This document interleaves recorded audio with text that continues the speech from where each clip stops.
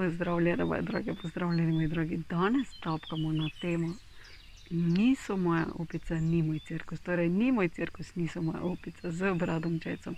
Upam, da ostajate v svojem srcu. Zdaj pa začnimo s tapkanjem. Ni moj cirkus, niso moje opice.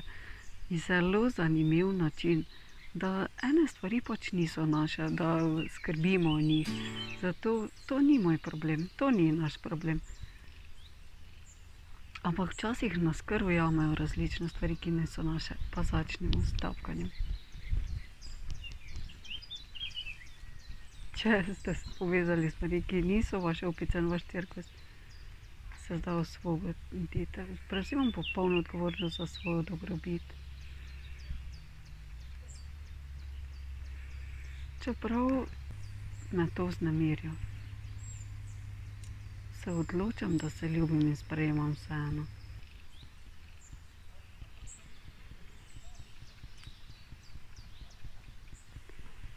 Čeprav vidim, da me to me kar potegne noter, se odloča, da se ljubim in spoštujem.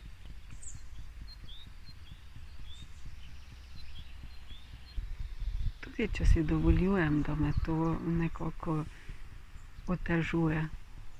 In ko čutim pritisk od drugih, da me to mora nekako motiti in okupirati. Tudi če sem se prepustila temu, se odločam, da se globoko in popolnoma ljubim, spoštujem in sprejemam. In mogoče vse druge vpletene. Ta stvar me muči. Ampak je res to moje, da bi me moralo mučiti? In če ne, zdaj to spuščam, zdaj to puščam. Dovoljujem si, da da si rečem: To ni moj cirkus.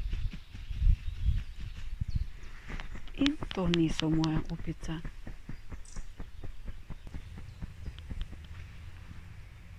In si dovoljujem, da grem naprej. Dajem si dovoljenje, da grem naprej v svojem življenju. In se odločam, da se osredotočam na to, kaj pa mi je zares pomembno. In se osredotočam na stvari, ki pa so moje, da jih uredim.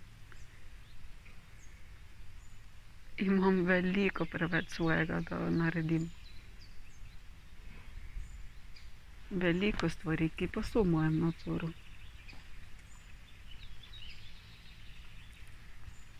In veliko stvari, ki pa jih ki pa imam vpliv na njih. Lahko bolje uporabim svoj čas in svojo energijo. Zato si zdaj dajem dovoljenje, da vem, ko se ljudje pojavijo okoli mene, je to moj cirkus? So to moje opice? In če ne, si dam dovoljenje, da se pomaknem naprej. Dovoljujem si, da vem, da ni to moj cirkus in da to niso moje opice. In se osvobojam v telesu, duhu in umu. Globoko vdihnimo.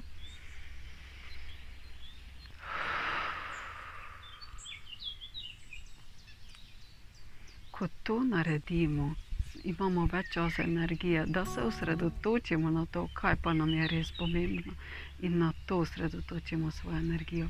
Hvala, da ste tapkali z nami lep, čudovit dan in seveda sledite svojemu srcu. Adijo, čao.